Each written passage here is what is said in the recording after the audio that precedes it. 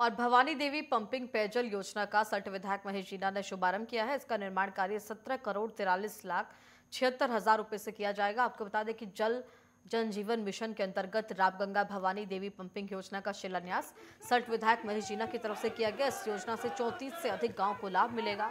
वहीं इस दौरान सट विधायक महेश जीना ने कहा कि सरकार पर हर घर तक पानी पहुँचाने के लिए लगातार प्रयासरत है। वहीं चार दशक पूर्व भी बनी रामगंगा भवानी देवी पंपिंग योजना जीर्ण शीर्ण हो चुकी थी। इसका पुनः गठन और साथ ही जल जीवन मिशन के तहत फ़िलहाल इसको पुनः विकसित किया जा रहा है।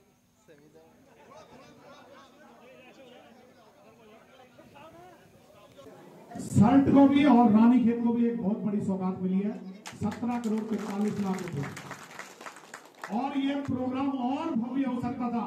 अगर कुछ लोगों को इस बात की समझ होती है। लेकिन किसी दूसरे का श्रेय लेना, ये ठीक बात नहीं आज मैंने भी कहा कि जब इस योजना का पुनर्गठन होना था, उस वक्त हमारे त्रिलोक सिंह भंडारी जी खुलबे जी और अन्य लोगों ने जिस समय माननीय चौफाल जी जो पेयजल मंत्री थे पूर्व में, वो हमारे भिक्यासेन में आए थे। आप सभी को याद होगा।